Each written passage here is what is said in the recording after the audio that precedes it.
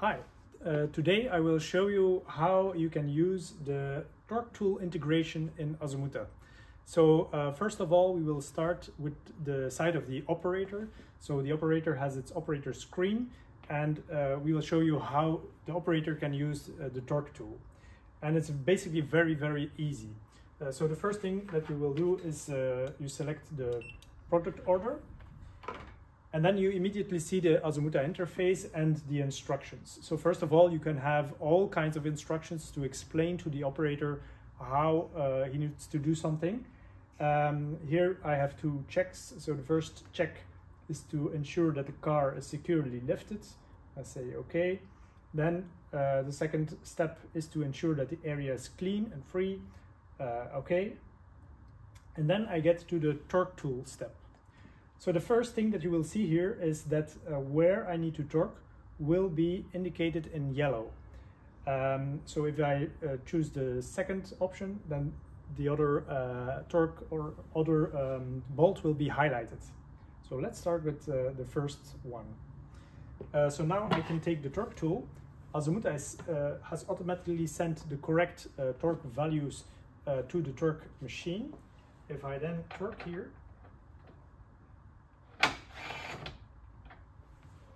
you will see that the first value is green and it automatically proceeds to the next uh, step. You will also see that the torque uh, or that the color of the item here is green and I can proceed to the second uh, value. Like this.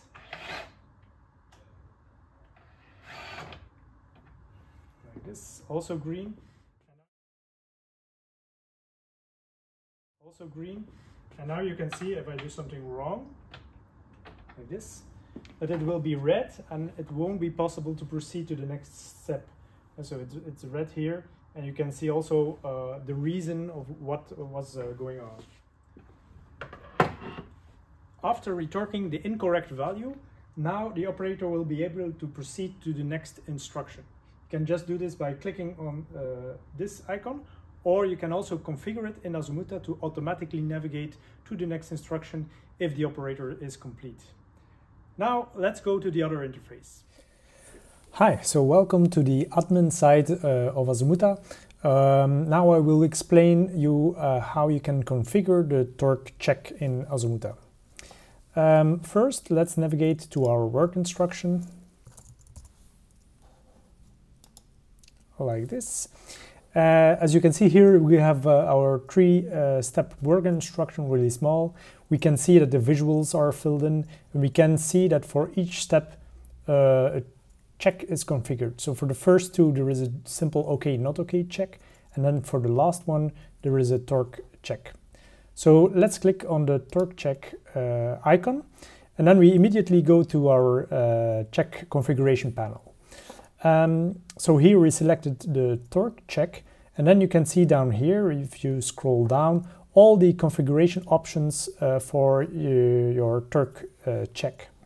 Uh, so first of all you can see the peripheral group and this means that you uh, want to select uh, a group of peripherals. For example uh, the group that is for heavy torquing or the group that is for light torquing or a group that is only applicable for a specific zone in your factory.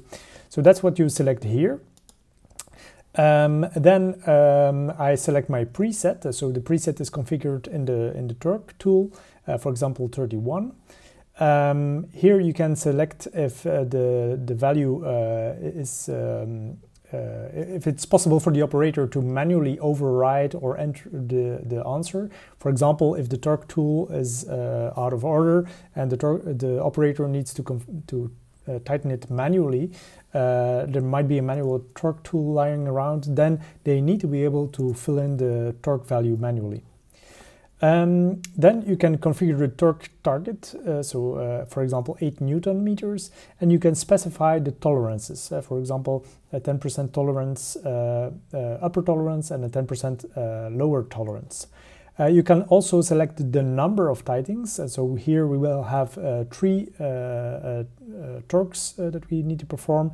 And then uh, we can also select the highlight the number of torque screws on visual pages. And so I will, can uh, configure the color here. I chose yellow so that it really pops which uh, torque uh, or which uh, screw that needs to be tightened. I can go down and select even more options. for example, uh, I want the operator not to be able to proceed if the torque tool uh, if the torque values are not filled in. Uh, so I can configure all of this uh, down here and I go, can go from uh, really loose and, and uh, allow the operator to do everything and then I can also do it very strictly so that the operator really needs to follow the procedure into very high detail.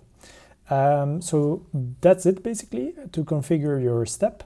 And then if you go to the visuals, uh, you can see that uh, you can add those numbers here um, to the visual. And I can say one, two, three, and those will highlight during the procedure. So I can move these around um, and I can point the arrow to the, the item like this. Uh, so, and that's it basically. So uh, that will work. See you. Bye-bye.